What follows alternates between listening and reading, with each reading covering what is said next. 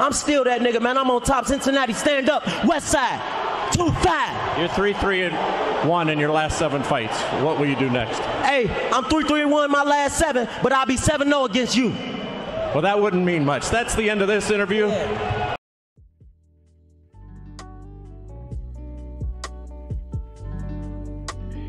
Yup, you know what time it is, man. This is, of course, your favorite channel, man. This is CTB. This is Chin Tucked Boxing.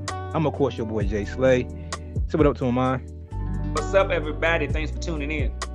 Adrian Broner, bro. Adrian Broner is in the news, man. He about to have a fight. And my opinions about it, it could be a, a big fight. It's gonna be a great fight if Broner let his hands go. I'm gonna say that I lost faith in Broner. If Broner let his hands go, this could be a great fight, man. He's fighting Figueroa, man. A fight that I did not see coming. I'm being honest. I thought this style would be bad for the Broner that we know now. The Broner that we know now who does let his hands go, who's been the same way for at least four or five fights now. I did not pick him to fight at Brandon Figueroa, man. Uh, not Brandon. What's his name? Brandon's a little brother. Omar. Omar Figueroa. I, I didn't pick him to, to fight Omar Figueroa. And Omar Figueroa, man, I did not think he'll take this fight. But I kind of see what Omar took it because it is a big payday. It is Adrian Broner. He gonna get that money for this fight. So why do you think Broner chose Figueroa, man? You think he see something in Figueroa, or you think Broner is just a gangster? He did, he wasn't gonna take any light work.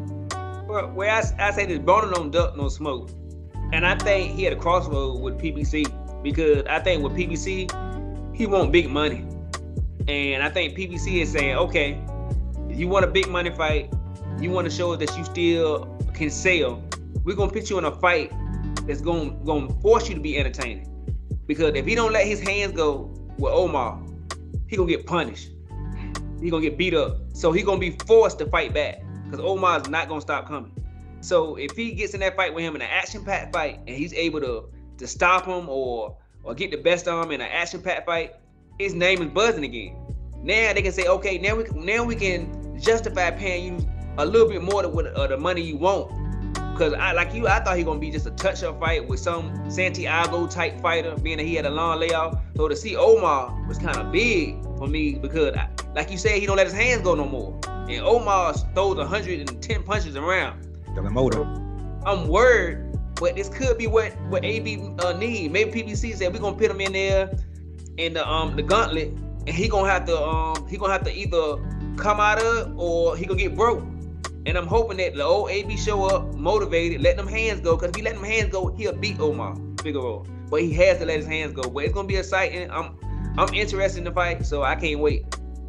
Yeah, I agree with you, man. I think PBC. I won't say they feed him to the wolves, because I, I do feel AB and Figueroa are on the same level right now. While AB back in the day, we would all be saying, yo, AB should be the favorite in this fight. AB should he should dog walk Figueroa one, one question. Omar Figueroa, his last fight was at 147. Yeah, with, with Ugas. Maybe yeah, this fight gonna be at, at welterweight. Oh, ah.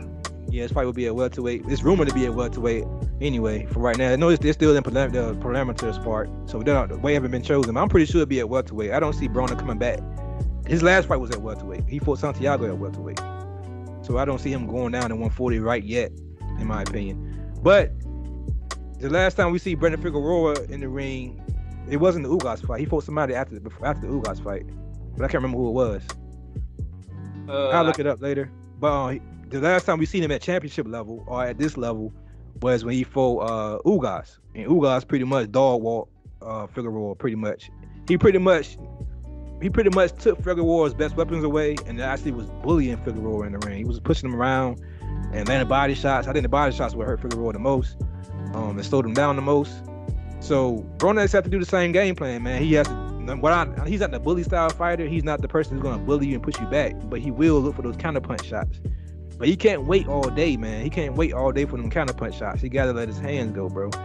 If he don't let his hands go, then PBC got a, got another payday for Figueroa coming up, which may be Keith Thurman. I'm gonna be honest. I see the winner of this fight possibly fighting Keith Thurman, bro. Yep. Because to be honest, let's, let's be honest, we called it here months ago that we all we said months ago we wanted to see an AB versus Keith Thurman build up because it would be great. The fight would be great. You know what I'm saying? Go back and look at our old videos about it. Uh, we talked about how good that fight had been would be. So I think this they pretty much came to him saying, "Yo, you want to get back on championship level? You beat Figueroa, we'll get you a Keith Thurman fight."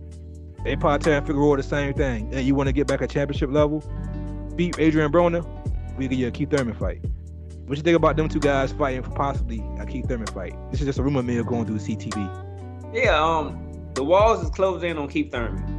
Like I said, he wanted the big payday with a Keith or um, Terence Crawford or Errol Spence fight. That's not going to happen. They think about each other in, in, a, in a, bigger uh, game plan than what Keith Thurman wants. But Keith Thurman still want to make that money. Like I told you, he's trying to get a retirement plan.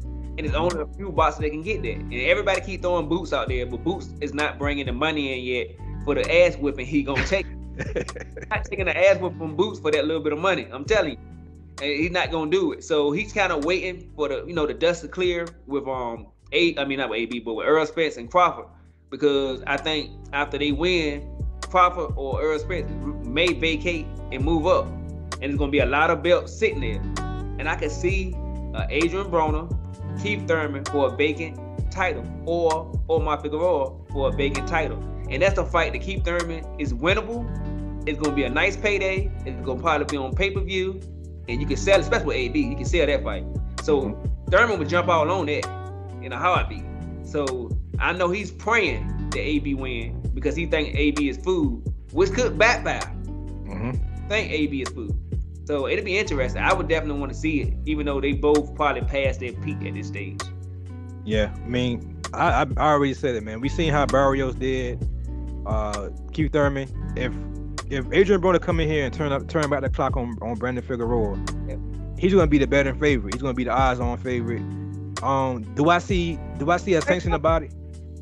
If he if if he go in here and body Figueroa and like like really hurt Figueroa, and then I think so, bro. I'm gonna be honest.